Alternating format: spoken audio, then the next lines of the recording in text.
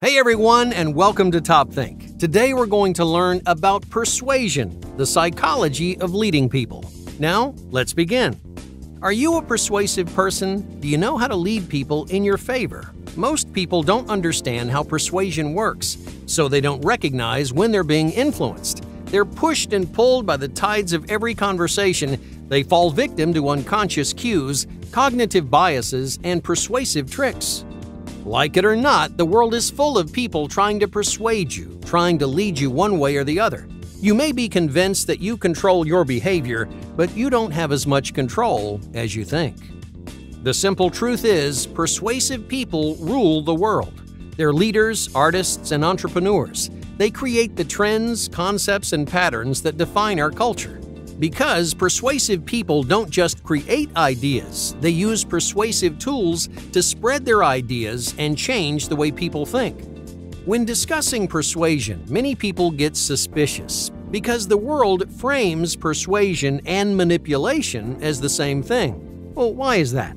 Because both persuasion and manipulation take advantage of people's trust. In every aspect of your life, trust and distrust govern your decisions. You cross the road because you trust that a car will stop at a red light. You lock your front door because you don't trust other people around your belongings. You buy products from a store because you trust that those products aren't going to break. In other words, your entire life is built around trust. Because trust is so important, establishing trust has become a critical skill. To be a salesman, for example, your customers have to trust your advice. To make a friend, you need someone to believe the things you say. If other people are involved, trust can make or break your success. But where does trust come from? Why do we trust some people and not others? At a foundational level, you establish trust by proving that you're trustworthy, by showing people that your words match your actions. Now, of course, that isn't the only way to gain someone's trust. Otherwise, persuasion wouldn't exist. Persuasion and manipulation use subtle cues and special language to create trust. Both persuasion and manipulation establish a trustworthy dynamic with another person, but what do you do with their trust? Do you take advantage or do you follow through?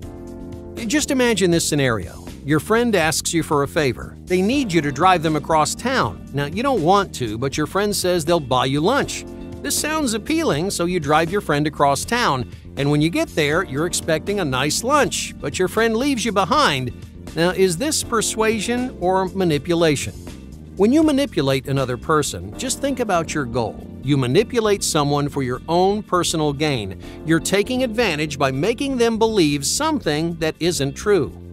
All right, going back to our example. Your friend gained your trust by offering to buy you lunch, but they misled you on purpose. They used your trust to take advantage of you and then failed to honor their word. In other words, a manipulative person establishes trust with no intention to follow through. Okay, let's try another example. Now imagine your friend invites you to go camping. You're on the fence, but your friend makes a really convincing argument. Over and over, they tell you how fun this trip is going to be. They tell you about hiking through the mountains, roasting marshmallows, and looking up at the stars. Suddenly, this camping trip feels more appealing, so you say yes. The next weekend, you and your friend go camping. You hike, you roast marshmallows, and you look at the stars, but you also get bitten by mosquitoes and you struggle to sleep on the rocky ground. Overall, the trip wasn't as fun as your friend said it would be. Is this persuasion or manipulation? This time, your friend is being persuasive, not manipulative. When you persuade someone, you aim for a common goal. This goal works in your favor, but you're not the only one who stands to gain. When being persuasive, you're encouraging a decision that's mutually beneficial. You're establishing trust and reinforcing that trust. Now, looking at our example again, how did your friend get you excited about camping? They gained your trust by highlighting the best experiences. They focused on the most fun activities. Your friend left out the bad stuff, but they never lied. They didn't purposely mislead you, they simply changed their approach. The goal of persuasion is not to take advantage of people. Persuasion uses cues and signals to achieve a common goal. So, how do you become a more persuasive person? How do you use persuasion to lead others? Most importantly, what techniques can you use to be persuasive in your daily life? For the rest of this video, we're going to talk about five persuasive tricks you can use to lead people without losing their trust. Number 1. Sources of interest. Persuasive people know that interest is everything. You can't persuade anybody without creating interest. Just think back to our last example. How did your friend change your opinion about camping? They created interest. They talked about activities you'd enjoy. You became interested in those activities, so your interest changed your opinion. Interest can change someone's mind, it can grab their attention, or it can hold them back. Interest is the reason anyone listens to you. If you want to be persuasive, develop interest right away. Otherwise, your persuasive tactics will never work. Ah, but what creates interest? What does interest look like? People are the most interested in things that benefit them. It may be profitable, exciting, or even entertaining, but a source of interest will always benefit the other person. To be persuasive, lean into their interest. Emphasize how much or how often they're going to benefit, and when you highlight these points of interest, people are much more likely to say yes. But remember that persuasion is not the same thing as lying. Do not lie to create interest. Otherwise, you're manipulating instead of persuading. Persuasive people build interest by approaching the truth in a clever way. Number 2. Core Communication Do confusing concepts and language make you more persuasive? When trying to persuade someone, you should simplify concepts as much as you can. Persuasive people will boil difficult ideas down to their core. They can explain complicated concepts to anyone because they focus only on the things people care about. Just imagine, for example, you're thinking about buying a TV. A salesman may show you a huge list of prices and products. You immediately feel lost, right? But the salesman points to one product and he says, This TV is exactly what you're looking for. And just like that, this salesman reduced a bunch of confusing information into one persuasive idea. Number 3. Limited Editions This is a common persuasive tool in the world today. Everyone wants something that's one of a kind, limited edition, rare, or unique. Whether it's technology or clothing, we're all looking for some way to stand out. The moment something becomes rare, it gains value and persuasive power. Creating scarcity is easy. You simply offer a smaller quantity. But you have to know when and where to use this trick. Think about the most expensive watches in the world. These watches are exclusive and personalized.